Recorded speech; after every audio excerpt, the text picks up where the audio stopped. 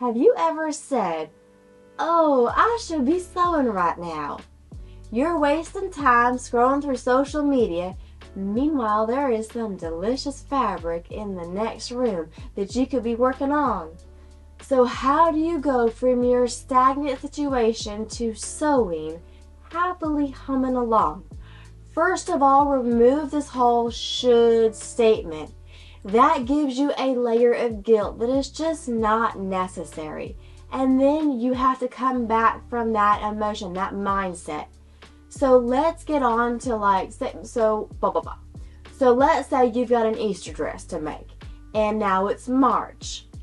Don't talk all about, oh, I should be sewing Easter dresses, but I'm going to go out to lunch with Mary. That puts unnecessary guilt on that whole situation. First of all, if doing the first thing gets you moving and then that lands you in your sewing machine, then an hour to lunch with Mary is well worth it. But remove the whole should because you're going to do the first thing and then you're going to sew. So there should be no should involved in it, right? Because why? Why should you? Why does it matter? If it doesn't matter, then you shouldn't do it. If it does matter, then you're going to just do it. No, no should involved. Remind yourself of what's going on and what is at stake at the bigger picture. Why do you want to make these dresses? To see your kiddos in precious creations? Or are you making Easter dresses for you? Because you belong on the totem pole too. That's right. That's why you are doing it. No should involved. You're just gonna do it because of your why. On the flip side, you can picture what happens if you don't achieve these dresses and use failure as a motivator. Failure is a great motivator. Motivator. Easter is gonna arrive whether you do these dresses or not.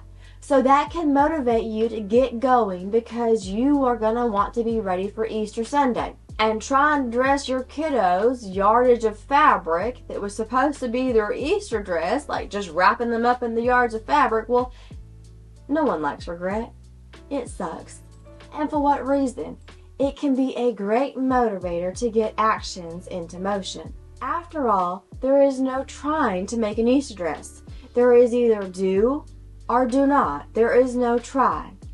Is that by Yoda? I don't know. I'm not a Star Wars person.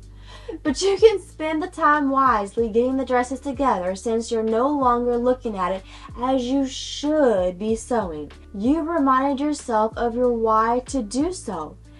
And also, what's at stake if you don't spend the time wisely? Because Easter arrives whether your dresses are done or not. So, focusing on the doing. But don't mistake the doing for perfectionism.